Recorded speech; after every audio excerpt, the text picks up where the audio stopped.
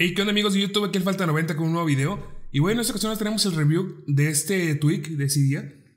Que la verdad lo he estado pidiendo bastante. Yo no lo había subido por el motivo de que no se puede conseguir gratis. Por este tweak hay que pagar, señores. Y bueno, yo les pregunté en Facebook y en Twitter si querían que lo subiera. Eh, más que nada como para hacer un revisado y que ustedes pudieran checar a ver si conviene o no hacer la compra de este tweak. Este tweak se llama Intel Screen X. La verdad es muy conocido ya por todos. Y bueno, vamos a checar eh, básicamente lo que es, ¿no?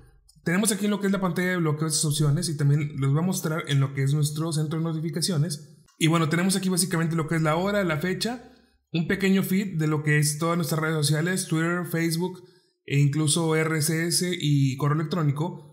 Aquí tenemos herramientas muy, similares a lo que es SB Settings, el modo avión, encender y apagar el Bluetooth, eh, Wi-Fi 3G, rotación, hacer un respring. Y bueno, aquí podemos navegar entre ventanas laterales la cual aquí me va a mostrar lo que es Facebook, en esta parte lo que es Twitter, en esta parte me va a mostrar lo que son los feeds de RSS, aquí ustedes pueden agregar los que ustedes quieran, y en esta parte lo que es el correo electrónico, y bueno, este, básicamente esas son las funciones que tiene. Aquí en esa parte de abajo, como pueden ver, hay un pequeño lápiz que si lo oprimimos nos va a dar la oportunidad de enviar un mensaje muy rápido. Aquí nosotros queramos, en este caso lo voy a cancelar. Y bueno, vamos a checar lo que son las opciones de configuración. Para checar la configuración de este tweet tenemos que entrar a ajustes, y nos va a crear un nuevo menú llamado obviamente Intel Screen X. Ahorita vamos a checarlo. Que sería este.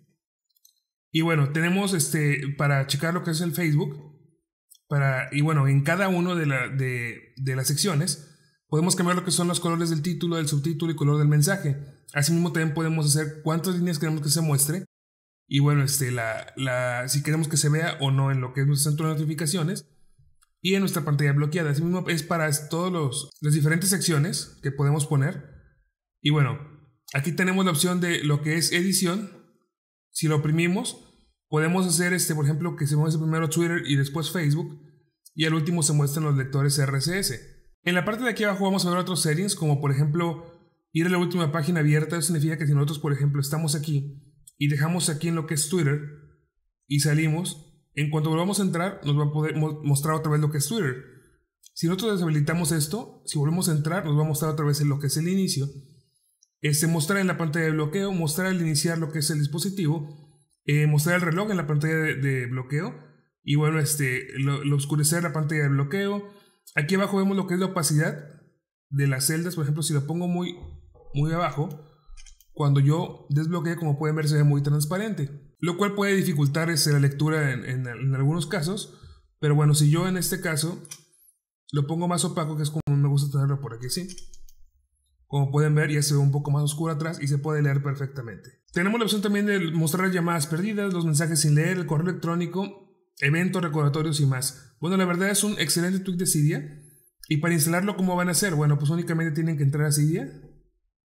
Y como siempre, esperar a que cargue.